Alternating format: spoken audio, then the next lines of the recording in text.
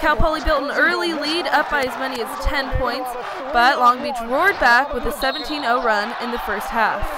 Near the end of the half, the Mustangs were down 32-26 before Jamal Johnson swished a three-pointer to end the period.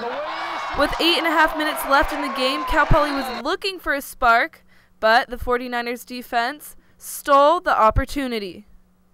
With just 20 seconds to go and the Mustangs down four, Johnson found Eversley behind the three point line and nailed the triple to bring Cal Poly within one.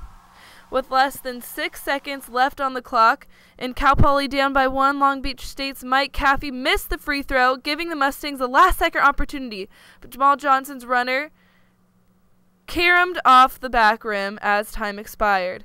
The Mustangs went just 6 of 15 from the free throw line and made it their first loss in conference play this season. 62 63 in the end. What are you going to work on for the next game?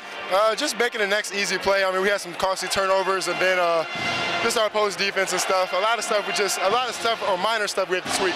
Nothing major. I mean, we played out. They played. They came, they came out, played a great game. So uh, just go back to the drawing board and get ready for practice on Monday. Okay, and then one last question. What do you think the coach is going to say right now to you guys in the locker room to work on? Um, I mean, like again, just the minor details. And we've had too many games in my career come down to one possession, and uh, this is another one to add up to it. But uh, yeah, just you know making the minor plays and just being everything. I mean, being into the game every time, 100% mentally every play.